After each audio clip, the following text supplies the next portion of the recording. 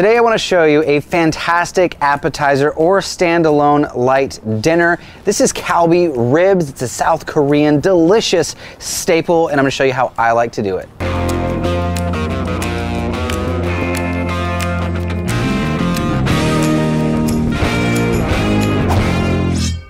The most important part about kalbi is the marinade. Now basically kalbi is thinly cut short ribs, cross cut so you can see each of the individual little bones, but we do need to show a bit of love with our marinade. It's very, very simple. We're gonna throw all of this stuff into a food processor. I'm gonna start with some yellow onion. I like the sweet onion uh, just because it, it gives us a natural sweetness. We have some sugar later too, but the natural sweetness of onion is fantastic. Now we're gonna take some pear. Pear has a really interesting flavor that's not typical uh, for a lot of Americans American cooking, but it's gonna go amazing here. We're also gonna add just a bit of Fuji apple. This is gonna compound with the pear and give us a really, really lovely flavor. I'm gonna throw some brown sugar in there just to keep on that whole train of sweetness. And now we're gonna get to our ginger. Very simple, fresh ginger. We're gonna peel it and cut it up pretty tiny. You don't have to worry about mincing it too small because it's gonna go in the food processor. We're also gonna throw in five, six, maybe seven whole garlic cloves, as many as you like. We definitely want a punch of garlic. Now on to the liquid. Now I'm gonna be pretty generous with my soy. That's where we're gonna get a lot of our savory, our umami flavors. The sweetness and the umami together, it's, it's hard to explain unless you actually experience it. But that salty umami flavor, it's kind of like what you get in mushrooms, what you get in beef. So it's a little bit more than just salty, it's salty and umami. Doing a decent amount here. We're looking at maybe almost a cup, almost a cup of soy sauce. This is where we're gonna get a lot of our, our flavor. And when you make this at home, it's one of those things too where you get to play with your flavors. You know what? We're going all of it. We're going all of it. When you get to play with your flavors, I mean, how many times do you get to put soy and pear together? It's really, really fun. Now, just a touch of sesame oil. Sesame oil is potent, so maybe a table, a teaspoon, teaspoon, not table, teaspoon. We're also gonna add some mirin. Mirin is a sweet cooking wine uh, not overly sweet, don't think sweet like sugar, but it does have an interesting uh, sweetness to it. I'm gonna hit that with just a bit of salt and some pepper. You know, I wasn't gonna, but now I feel like I wanna. So green onions have two parts. You know, we have our, our white part down toward the end and then our green part. I was gonna use these for garnish, but I usually discard this little bit, this white bit down here, but I'm gonna take just the whites. Let's throw those in there. Add a little bit more onion flavor. Green onion is a bit more of a brighter onion flavor than yellow onion. Not quite as sweet. Uh, that's really good. I'm last little bit here, I'm gonna add some water. The water's just gonna help us get to the consistency we need for a marinade. So let's put that topper on and blend this until it's nice and smooth.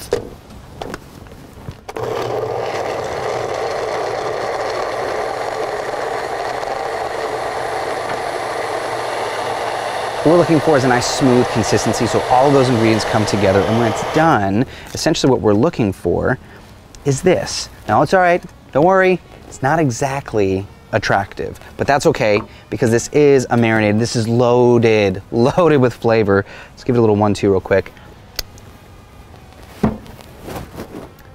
There are moments when you taste something that you just made lights going off in my head. You ever seen Ratatouille? It's what's happening right now in my head. So, so good, so good. All right, push this off to the side just for a second. Now let's talk about our short ribs. So check this out.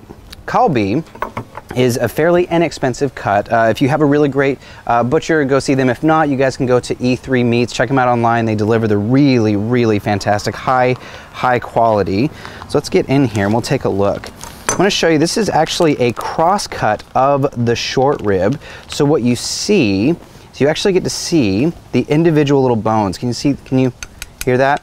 So the short rib normally would be cut this way, so that one long bone would be going down the middle. These are little individual bones. Fairly inexpensive cut and really, really versatile.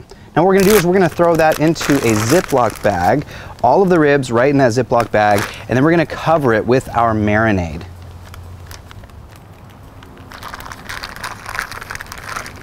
Now is the part where we have to be patient.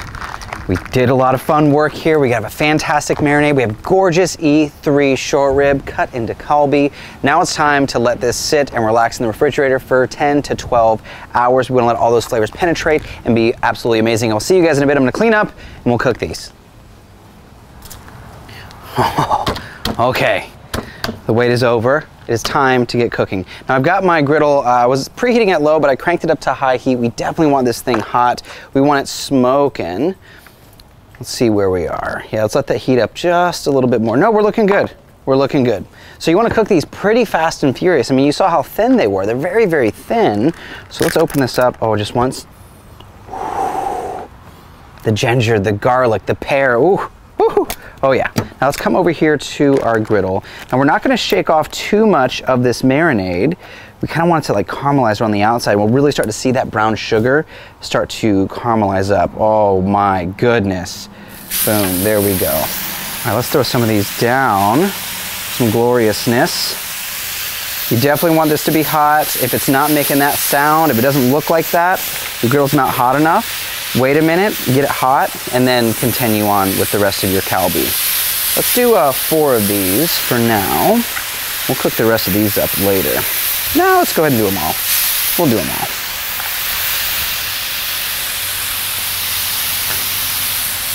While that's cooking, let's get to our garnish. Now remember we had those green onions from before. We're just gonna do a nice thin little slice of these. This is nice, it's gonna give us some color. It's also gonna give us a little bit of texture and crunch uh, and that beautiful, beautiful bright flavor. All right, that looks pretty good. Maybe a touch more, just a touch. I like that. Now let's also do let's play with our pear. I've got one more pear. Let's, uh, let's think about plate architecture. What are plates gonna look like when it's finished? So let's take half. I'm gonna cut it in half and then in half again, just to get rid of those seeds. Just like that. Beauty. Do this one too. I like it. Now we're gonna go real, real thin. Real thin little slices. Let's just give us a nice little plate presentation. We can fan them out. You know, you take so much time making the food taste delicious. If you don't take that extra little bit of time to make it look delicious, you're selling yourself a little short. We don't want to sell ourselves short. Want everything to be lovely and beautiful. If you watch the show long enough, you know how I feel about that. That looks good. Let's do the other one too. Thin, beautiful little slices. Try to keep it together. That way we don't have to start playing Legos at the end. It'll all just slide and fan out nice and even. There we go. I like that. All right, save this off to the side and take a peek at these beautiful ribs. They smell amazing. They smell unbelievable. Let's give just a quick little peek. Oh my goodness. See that? Beautiful caramelization. You see the sugar starting to get all stunning? This, my friends, is magical. All right, let's let this cook for about let's say two or three more minutes just to get some lovely color, bring out some of those flavors, bring out that caramelization, and it's time to plate. Oh, that is what I'm talking about, my friends. Beautiful Maillard. Look at that. All right, let's go ahead and get our plate ready. So I've got a nice little plate. You definitely want a longer plate so it can fit uh, the shape and the length of our ribs. But we made those beautiful little fans. So check this out. We're gonna take our pear, Let's just fan it out nice and even. Give ourselves a little color, a little plate contrast. Just like that, tuck it in. Let's do the other side also. This is one of those things you definitely don't have to do it, but if you've got the extra pear and the time, make our plates look beautiful. I like that. Nice. All right, let's grab our tongs and we're gonna start pulling these over. We'll pull two at a time.